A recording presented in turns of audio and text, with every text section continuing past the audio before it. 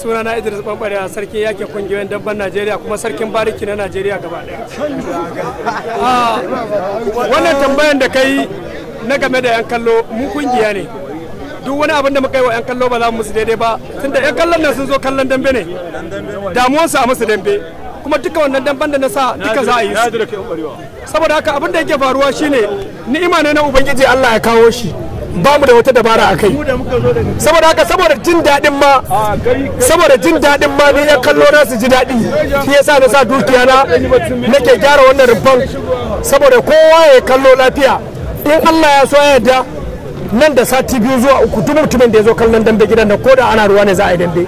Saboda bayan mun rufe wannan rumfan ina da shirin gaba ɗaya rufe saman ma in Allah ya so yadda saboda design din mu riga mun ɗauka kuma za mu dinga yin wannan abin a hankali.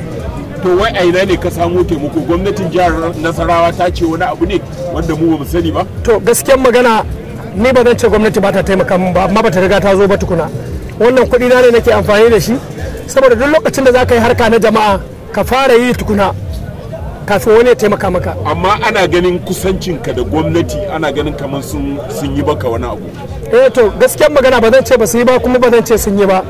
Ni ina tare da gwamnati ɗari bisa ɗari saboda duk wanda bai tare da gwamnati bai san ma me yake yi ba. Saboda zaman lafiyar mu kenan mu zanna tare da gwamnati. A in Allah ya so yadda muna so mu rufe wannan gidan dambe saboda ko ana ruwa ko ana rana ya zama to 'yan kallon mu suna kallon wasan da za a yi. Kuma mu duk wani ƙungiyar dambe a Najeriya ƙoƙarin ta ke kawo dan wasa mai kyau wanda 'yan kallo suna so. Kuma na alƙawari in masha Allah daga nan har zuwa azumi duk dan wasan da 'yan kallo suke so zan yi ƙoƙarin kawo shi ko da nawa za a kawo shi. To wanshin yaya batun haɗin kanku da da sauran ƙungiya musamman su ɗan liti? Ganin cewa ka ɗauke masa zaratan 'yan dambansa daga jihar kano ka kawo su maraba. Wani zai yi ta mamaki ganin yadda ya kulle ya kulle ya kulle da makulli kuma sai gashi kai ka buɗe ka kawo su. A to ni ai ban da masala da wani ƙungiya duk wani ƙungiyar damba da yake Najeriya ban taba kwana da haushin shi ba. Saboda ni harkata nake gabata gabata nake kawai.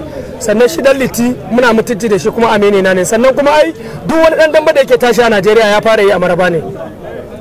Duk wani dan dambe in dai dan dambe ne ya tashi a Najeriya yana dambe a maraba ya fara. In ma baka in ma baka fara dambe maraba ba ko kuma baka yi dambe maraba ba baka kai dan dambe ba. Saboda haka da mu da Kano duka ɗaya ne tafiya ɗaya ce. To da sako kake da shi wa 'yan kallo? Da masoya dambe a duk duniya baki ɗaya ganin kuma sun so su gani a yanzu abin da ya faru amma kuma Allah bai yi ba. A sako da zan gaya masoya kallon dambe na Najeriya su jira Allah kai mu ƙarfe huɗu za mu kafa wannan wasan kuma duka wasannin za a yi su. Saboda Allah ne ya kawo ni'imar shi ba dabaran mu ba ne ba yin mu ba ne ba wani wani abu ba ne muka yi. Allah ne ya kawo wannan ni'ima. Hadirin nan tun da safe ne. Aka fara nuna shi amma Allah bai kawo shi ba sai wannan lokacin. Amma in Allah da ƙarfe huɗu za mu dawo wannan wasan za a yi dambe tsakanin shi sha'aban da shi da autan na Aisha damben farko kenan. Dambe na biyu kuma za a yi tsakanin shi Ramadan da garkuwar kurma. So wannan damben dukansu za a yi su kafin ma kuma a yi wa'yansu damben.